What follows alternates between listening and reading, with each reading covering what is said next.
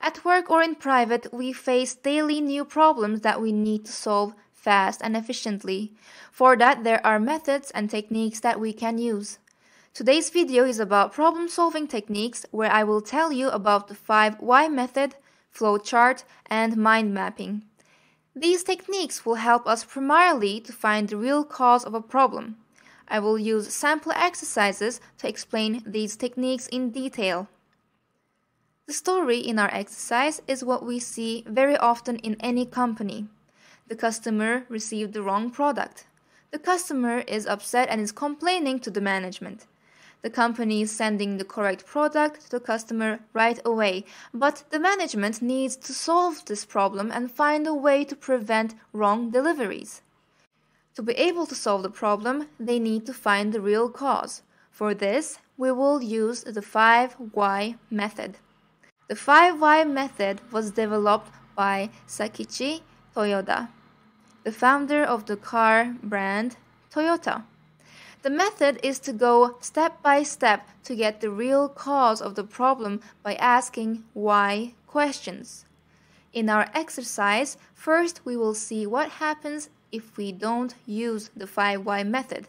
Then, what changes when we do use the 5 why method. Why has there been a wrong delivery to our customer? Because the wrong item number was entered. Why was the wrong item number entered? because the order entry number was entered incorrectly by customer service. Well, that sounds very much like the cause for the problem. Let's call the person from the customer service and give them a warning, or better yet, let's fire the person right away. Case solved, problem solved. After a little while, another wrong delivery happens. Seems like the problem still exists. If we stop asking because we assume that we found the cause, then the solution may be wrong if the cause is still really not the right one. Let's see what happens if we continue to use the 5 why method. Why did the customer service enter the wrong item number? Because customer service needed to enter the order manually. Why does the order needed to be entered manually? because the customer ordered through a phone call instead of sending it online as usual. Why didn't the customer order online as usual? Because the customer can choose between ordering online or through a phone call. We could find the real cause of the problem when using the 5 why method. In our exercise, the cause wasn't the customer service. The cause was within the order process, which should be investigated further. There may be more than one cause for the problem. We can use the 5 why method to ask a different question and we may be able to find another cause for the problem. Why don't we recognize the wrong entered item number and deliver the wrong item to the customer? Because we don't have a checkpoint after the order is entered. We have now found a second cause for the problem while using the 5 why method. Both causes are within the order process. Maybe there are more causes hidden within the process. In such a case, it is suggested to look into the whole workflow. For that, we will create a flowchart. The customer places the order. Did the customer send the order online or through a phone call? If it was online, then the order will be processed automatically and sent directly to the warehouse. If it was ordered through a phone call, then the order will be sent to the customer service for manual processing. After processing, the order will be sent to the warehouse. In the warehouse, the orders will be printed out and the items will be picked up manually, packaged, and handed out for delivery. We have created a very simple flowchart for our exercise. In reality, these flowcharts are far more complex and detailed. We can see another cause for our problem in our flowchart. The items are being picked up manually. That means even if the order is sent correctly to the warehouse, it may happen that a wrong item is going to be picked and delivered to the customer. In the very beginning, we implemented a wrong solution because we didn't search deep enough for the real cause. After that, we used the 5 why method and found two causes. Finally, we looked into the workflow and found another cause for the problem.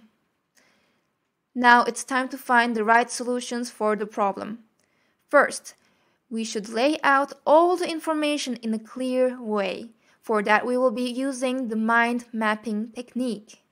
Mind mapping is an easy way to visualize information, ideas, and plans that are connected to the main subject. The main subject in our exercise is wrong delivery. The first connection to the main subject is the way we receive the order from the customer. As mentioned, we received the order either online or through a phone call. We also know that we receive 80% of all orders online and 20% through a phone call. The orders that we receive online have no risk for inaccurate processing and will be written in green letters, but orders that we receive through a phone call have a risk of inaccurate processing and will be written in red letters. As a possible solution, we may announce a new rule and stop accepting any orders through a phone call. That would prevent manual processing of the orders. But we have to ask ourselves if that rule would cause loss of orders and sales. In estimate, 90% of our customers will switch over to online ordering and 10% will leave our company. Then the real loss would be 2% of all orders. With this information, it will be easier for us to decide if we want to implement the rule or not. Another connection to the main subject would be the order processing. Depending on the way we receive the orders, we process the order either automatically or manually. As we know already, 20% of the orders we receive are being processed manually. Estimated 15% of all manually processed orders are processed incorrectly. That means that 3% of all orders are wrong. As a possible solution, we can implement a checkpoint after the manual processing step. Does it really make sense to implement a checkpoint just to prevent 3% of wrong orders? To be able to answer this question, we add a new connection to the main subject. The title will be Checkpoint. We have two options. Either we implement a software that will sort out all wrong processed orders, or we hire an additional employee to check all the manually processed orders. The best way to answer would be a cost benefit analysis. The last connection to the main subject is picking the item from the warehouse we found out that 10% of all orders were wrongfully picked. As a possible solution, we can use a barcoding system that would prevent picking the wrong item. For this solution, a cost benefit analysis would also be essential. The mind mapping tool can be extended further with colors, shapes, sketches, and similar procedures that will make it easier to visualize all the information we have for the main subject.